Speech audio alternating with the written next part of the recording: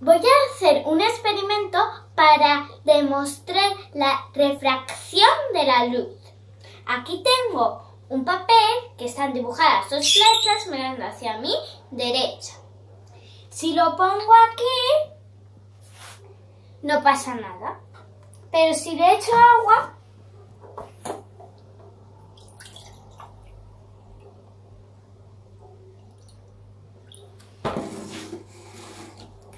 las dos flechas cambian de sentido. Ahora están hacia la derecha y ahora hacia la izquierda.